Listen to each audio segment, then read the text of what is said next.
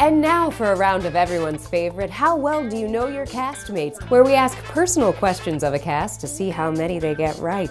Joining us today is the cast of Talene Monahon's Jane Anger. Our first question is who gets to the theater first?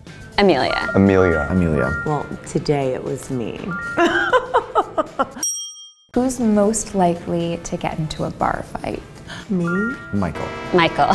Amelia. I watched her take someone down at the Stonewall Inn. Oh, and they deserved it. They deserved it. She's a hero. If you were all on a road trip together, who would be the driver? Michael.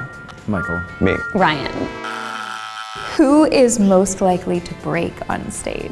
Talene. Talene. Talene. Me, for sure. I'm sure they all said that. Laughing at the jokes she wrote. Who would win in a dance battle? Me. I think it's me. Obviously me. I would I would dance the pants off of everyone else. Amelia. Amelia.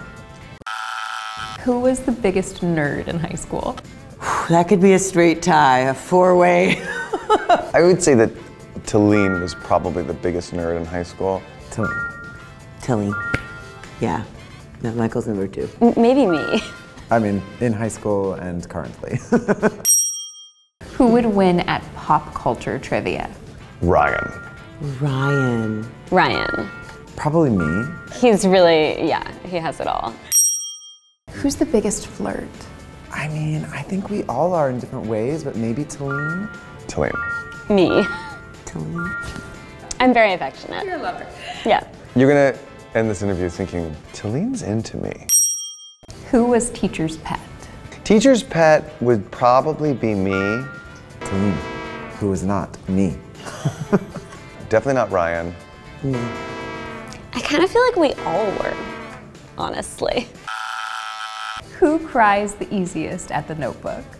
I cry at card tricks. Michael. Michael. For sure. Michael cried at the Fabelmans trailer. Talene got angry at it.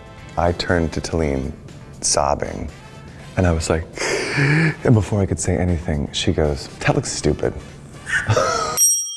I knew it. I knew he would. Get your tickets now for Jane Anger playing through January 8th at the Shakespeare Theatre Company.